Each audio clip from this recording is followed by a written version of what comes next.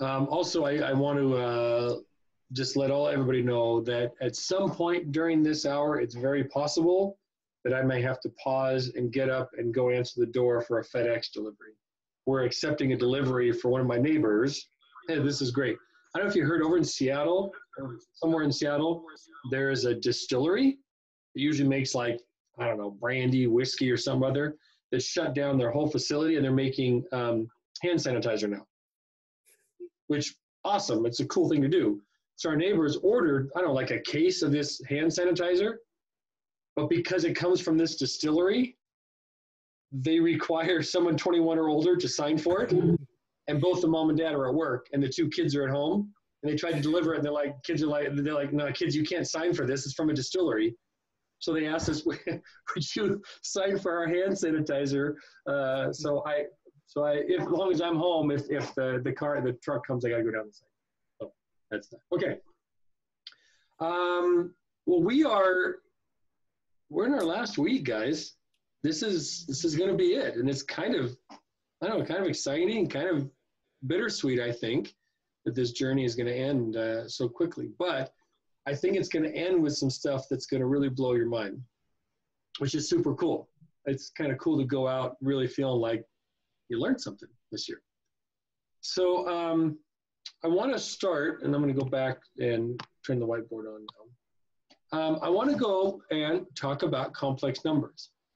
And I know we talked about them before, but oh, got a whole lot more to show you right now.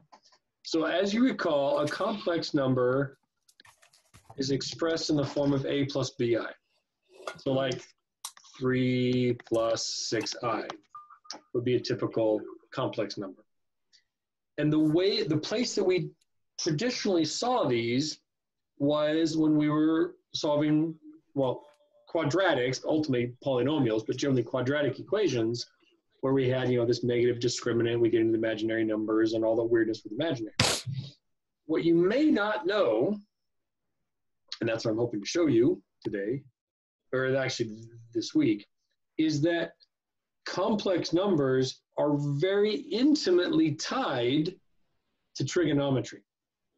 And there's a strange connection between these numbers, which don't seem like anything to do with angles or anything in trig, and trigonometry. So we're going to get there eventually, but today I just want to show you something about complex numbers that I'm guessing most of you have not seen before. So you might recall that um, we had issues trying to show or graph a complex number. Like when, when the roots of a quadratic were complex, we weren't able to graph those on a, on a graph. And obviously, if I did something like this, made a number line here, and I put, you know, zero here, and I go one, two, three, four, five, six, seven, eight, we'll go out here, 10, and then one, two, three.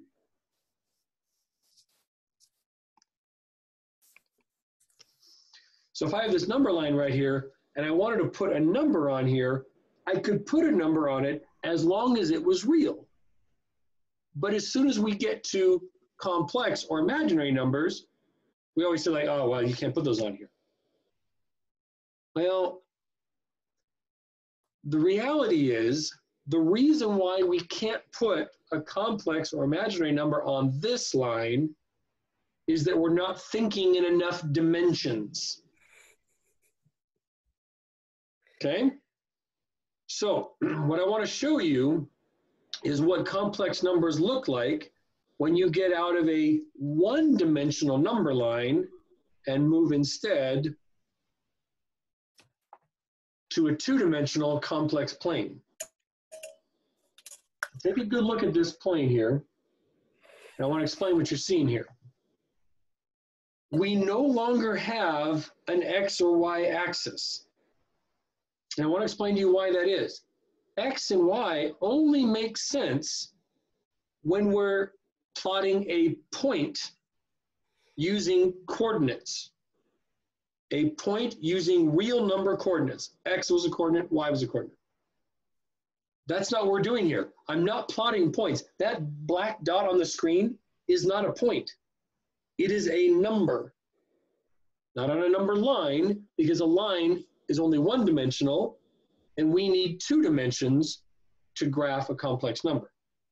So instead of x, y axes, we have a real axis and an imaginary axis. And so we're going to actually plot a number on a plane.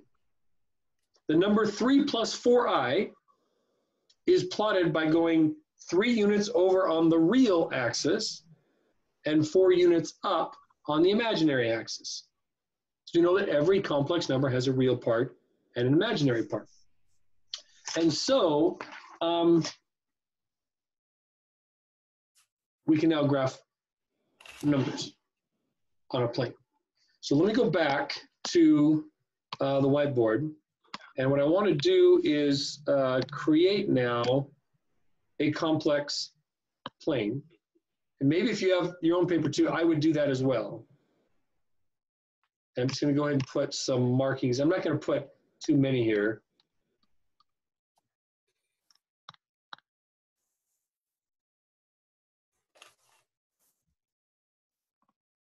Let's go five in each direction. I'll give you a second to do that because I'm going to ask you to start plotting some, some uh, complex numbers here. I almost said plotting points. We're not plotting points anymore. We're plotting numbers. Instead of numbers on a number line, it's now numbers on a complex plane. And I've got several different examples here, and then we'll get into a couple of the characteristics of complex numbers in a graphical sense. We good? Lucas, Damon, you have your graphs ready to go? Okay, so I want to start with the number four. Where on this complex plane with the number four, and by the way, this is um, real and this is imaginary. Again, keep in the back of your mind, this is all related to trig, even though today it's not, there's no, there's no really trig going on today. That's coming on Wednesday. So where do we plot the number four? I assume that means. Right. Yeah, perfect, perfect. One, two, three, four, right here. But I'm not going to write it as four comma zero. I'm writing it just as the number four. Okay, where do I, uh, these are easy so far. Where do I put the number uh, minus three? Right, three units to the left, right here, minus three. Now, I want to make something really clear. And this is where this kind of blows my mind too.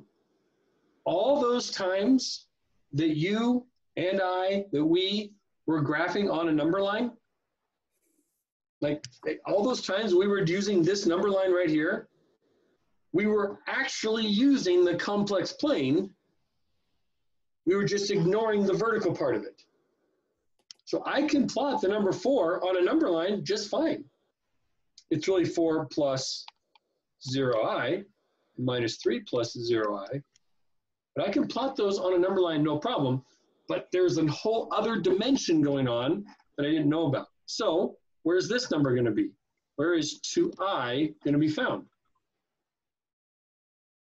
Well, there's no, yes, right, Damien. There's no real component to this, but 2i sits right here. This is 0 plus 2i. It's at 2 on the imaginary axis.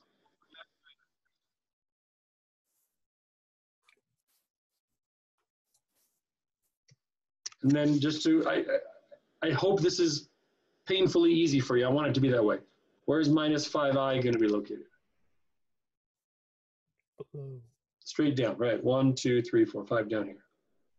So this is minus 5i, but you can think of it as 0 minus 5i because there's no real component to it. There's just a imaginary component. Okay, now it's going to get interesting because now we'll, we'll put in some um, complex numbers. How about this one? Minus 2 plus 3i. Now you can think of this in the same way you used to think about plotting points, but I want you to tell yourself over and over again, this is not a point, this is a number. I go to minus two on the real axis, and I go up three on the imaginary axis. This is not negative two comma three. It's negative two plus three i. We are literally plotting numbers, but we're doing it now in two dimensions instead of one dimension. How about 1 minus 4i, just for another example? We're going to move over 1 on the real axis and then down 4. So we have 1 minus 4i there. Okay? So far, not too weird? Okay, good.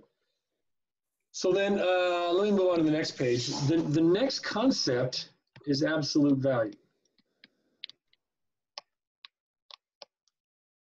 And again, we're pretty comfortable with absolute value from a number line perspective.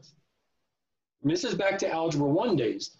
The absolute value of any number, as expressed on the number line, is simply how far that number is from zero, right? So if I go back here, I mean, the absolute value of nine is nine because it's nine units away from zero. Absolute value of negative six is six because it's six units away from zero. But the problem is, what do you do when you aren't on a number line? Like, like what is the absolute value of negative 2 plus 3i? And here's where you get to rely on the definition. If you haven't figured out by now, at this stage in your math career, it's good to, to, to note this. Definitions are really important. If I want to know the absolute value of negative 2 plus 3i, then what I'm really asking for is how far is that number from zero? I think, Lucas, what I see you doing is this and this and that. A distance formula away. Ah, yes, yes. Pythagoras comes back. We have minus two here. We have three here. But this is going to be the square root of minus 2 squared plus 3 squared, which is the square root of 4 plus 9 equals the square root of 13. So by definition, the absolute value is the distance to 0. And to be clear, this is not the distance to the origin can't use that term anymore. There is no origin. Because we're not, there is no origin. That we're not graphing points anymore. We're just graphing numbers. So this, this number right here is the number zero. So absolute value is now the distance to that zero. And if you haven't figured out by now, it's worthwhile to note that this way of thinking about the absolute value of a complex number is nothing more than considering that number as if it were a vector and finding the length of that vector. Does that, does that work at all? Because we, cause we, did, we took the vector, broke it into components, used Pythagorean theorem, and off we went. So I'm sort of slowly trying to form this clay into some cool little thing that says this all kind of relates together, it connects together. Um, real quickly, what would the absolute value of, say, negative 6i be?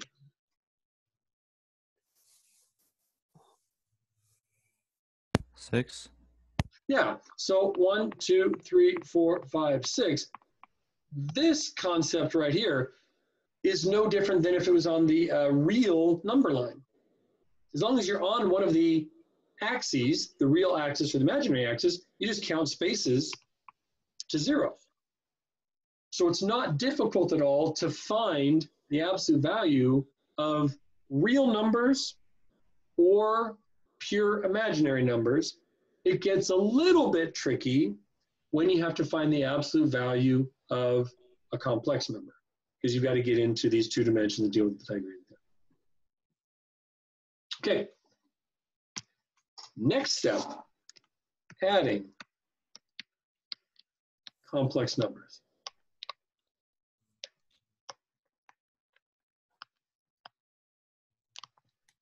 And I think you all will look back on when we did that before and think, yeah, it wasn't that hard. 3 plus 4i plus 5 minus 2i. And most of you can look at that and like, oh, 3 plus 5 makes 8. 4 minus 2 is 2a plus 2i, and off we go. So that's interesting. But what I want to do is have you look at this through the eyes of the complex plane.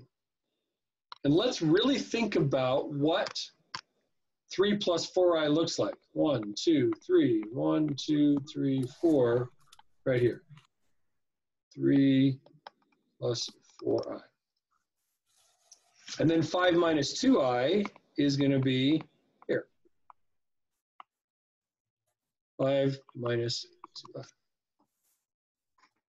So visually, this is pretty unsettling, I think. Like, how do you add those two dots together? How do you add those two numbers together?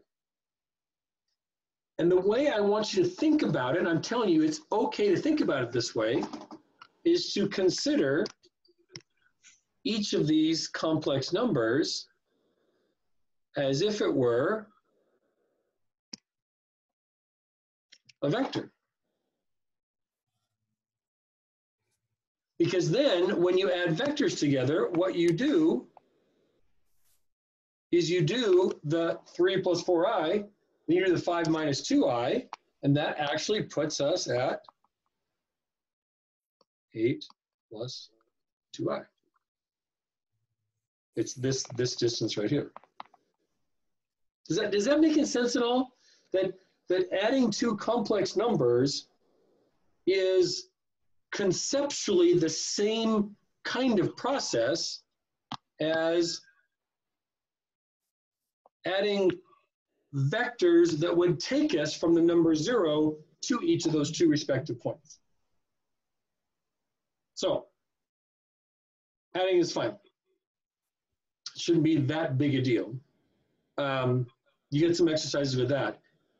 It's this last piece, though, that I, I find potentially really confusing and troubling. And that is uh, subtracting. I want to tell you why I find it confusing and troubling. And I hope I confuse you a little bit first, and then it makes everything clearer. Because here's, here's my problem with subtracting. When we go back to our days of the number line, say like 7 minus 4, we think of the word difference as equal to the word distance. Here's what I mean by that. I have a number line here. I got zero and then one, two, three, four, five, six, seven. And I want to find seven.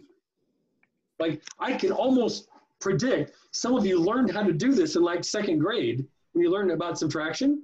You went to seven and you went, oh, I've got to go one, two, three spaces over. Seven minus four makes three.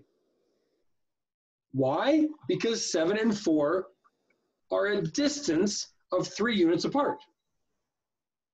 So we learn, in fact, even this, what about this one? 5 minus negative 2. Why is that answer 7? Because if we start at 5, which is right here, and we go to minus 2, they are 1, 2, 3, 4, 5, 6, 7 units apart. We, we literally count the distance between numbers on the number line, and off we go.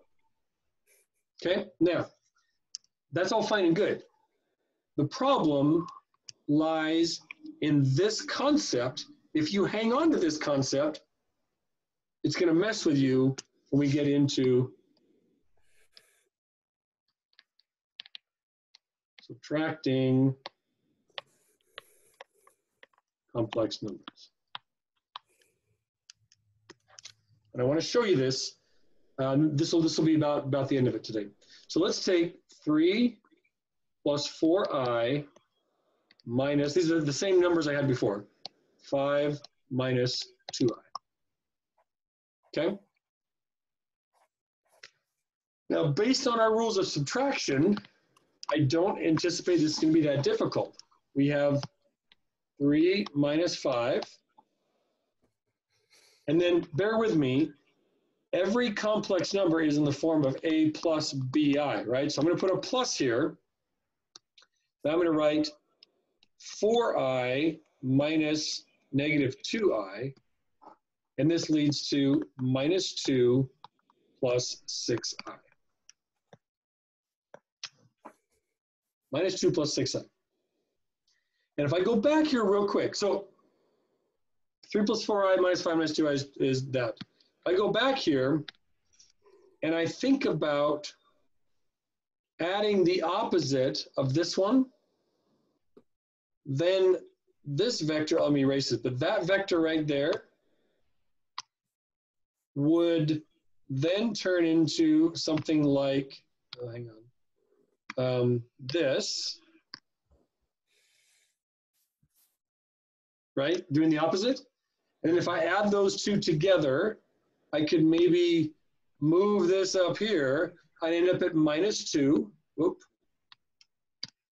End up at minus two, one, two, three, four, five, plus six i. So the subtraction process, I'm gonna erase all these because I don't want to confuse things. But the subtraction process visual, oops, visually should make some sense. The problem is again in trying to think about subtraction as being the word difference and distance at the same time.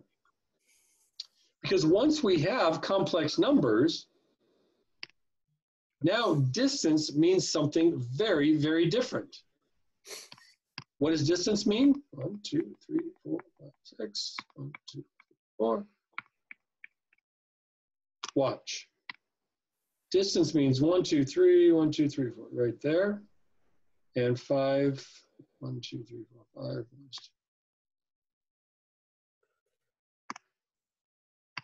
The distance between two numbers is not the same as the difference because the distance is this. What do you think about that? And the distance is going to be, oops, a number. In fact, it's likely going to be a real number. It's going to be a real number. Why? Because we're going to do the square root.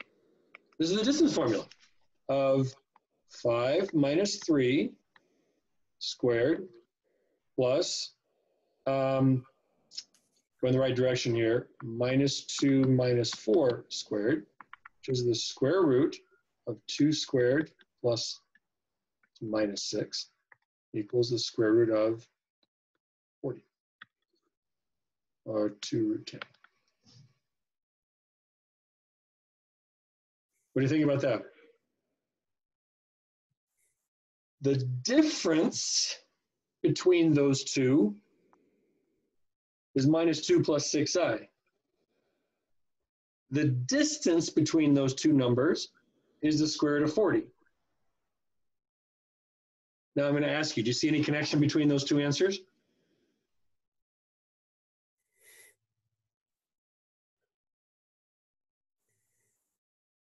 No. What do I get if I square that number right there and square that number right there? I get 4 and 36, don't I? And the number minus Sorry, I thought that was a three. Say what? I thought that was a three. Sorry, this, this is a 2. So this number right here, minus 2 plus 6i, is, the- is the difference when I subtract those two. The absolute value of that difference is the distance. Now I think I've thoroughly confused you. So let me go back just for a second. In simple real world terms, real number terms, difference and distance means the same thing. In the world of complex numbers, difference is going to be another complex number. Distance will be the absolute value of that complex number. And if you think about it, that's not terribly different here because I could have also done, like for this problem here, I could have done minus 2 minus 5 equals negative 7, but we would have said the distance is 7. So by default, in the real world, real number world, we typically will talk about the distance as being the positive version and the difference being positive or negative, depending on which way you subtract. But in the complex world, they're very different ideas. A subtraction is going to give you another complex number, whereas the distance between numbers, and don't lose sight of the fact these are not points, they are numbers. The difference is a number, the distance is this real number, absolute value. Kind of mind boggling, but actually kind of cool too. So what I want you to do for the next couple of days is get yourself reacquainted with complex numbers. We haven't talked about them in quite some time because Wednesday it's going to get really crazy with complex numbers and trig going to come in. And Wednesday, Thursday are going to be some of my favorite days of the entire year because it's so crazy. I'll give you this hint though. I'm going to show you how to find something like the sixth root of the number one. And there are six of them. Is it one? There are six roots of one. One of them is the number one, yeah. But the, the other five are not. So there's this whole world out there that we haven't even dared think possible. And that's what I'm going to show you. The, the, the cube root of negative 8, there's three of those, not one. And I know that negative 2 is the cube root of negative 8, right? That's one of them. There's two more. But you can't wait, huh? All right, here's your assignments for the next couple of days. I want you to do uh, page 443, 9 through 42, multiples of 3. And then, uh, you know, I, I've already given you credit for this, but the next day's assignment was going to be same plus 1, and then 51 to 54. And, and you know, look, if you don't want to do all of those, that- that's whatever. That's that's this is what I would have assigned you. I would, however, for day two, I think I'd, I'd really like you. Not I think I would really like you to do those problems for sure. Those are true false problems. And you might remember from class, those are really interesting, challenging, fairly confusing problems. And you know, maybe we'll, we'll, we might talk over any of the questions that you might have from the regular problems, but I want to for sure go through 51 to 54 um, on Wednesday in class, just to see how you feel about this the, these these ideas of complex. So um, that's all I have. Did any did any of you have issues or questions about last week's assignment? Dot products? I just, gave- I just gave you one day's worth. I don't remember exactly, it was four thirty something. I just want to know if there's any, any issues from page four, thirty-five and six.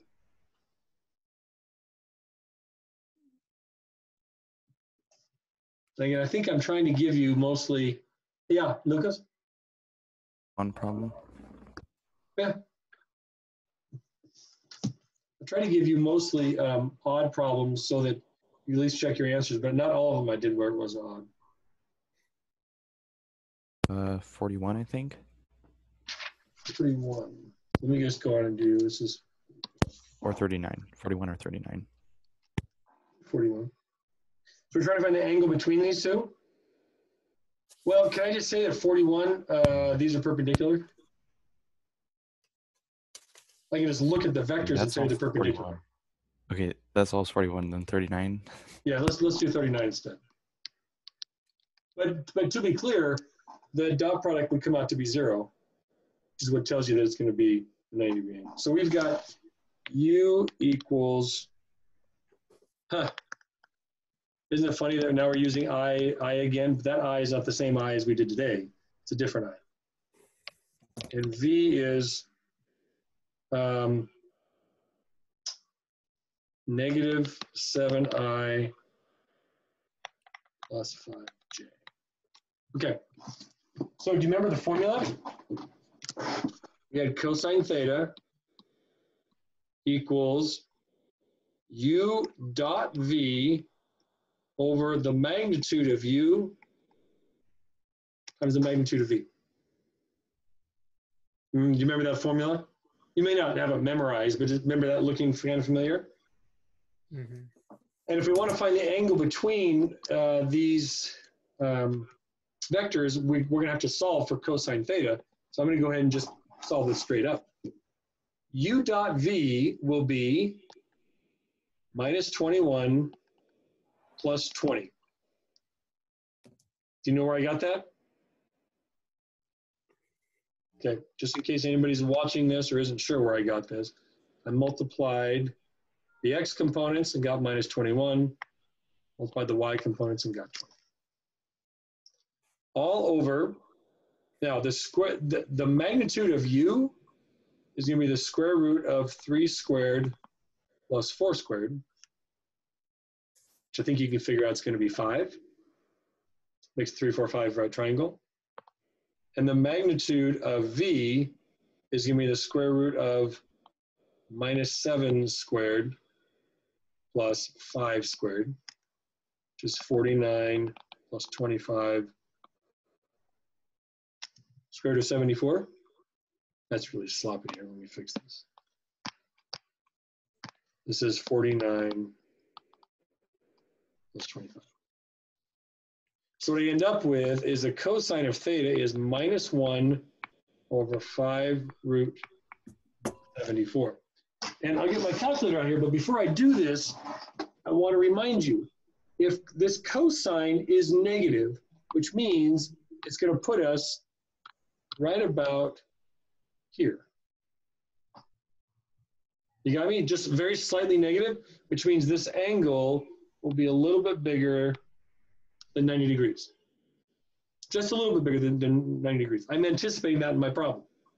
Now, how much bigger? I'll just go and do this.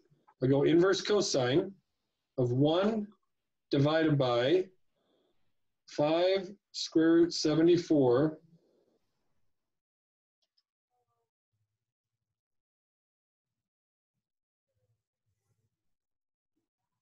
Hmm.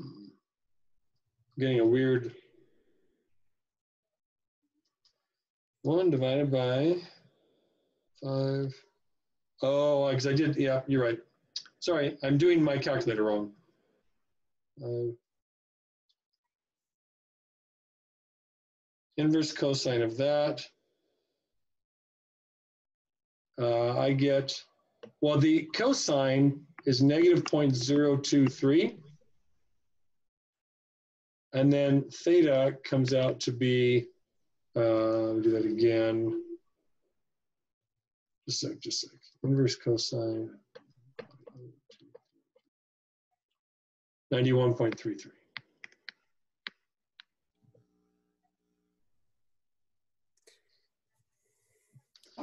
So I, I- I got into trouble on my calculator with this right here because if you don't put parentheses in the right spot, you get some really funky answers. So Lucas, how does that look? All right. I just had problems with the negatives in the cosine, and now I get that. Like here? Yeah. Okay. now I know how to solve it. Yeah, one thing that you might do, the calculators get a little funky with this, especially when you have a, a product of numbers in the denominator. Maybe just calculate this number first and then do inverse cosine, but it should come out. Okay, anybody else have anything?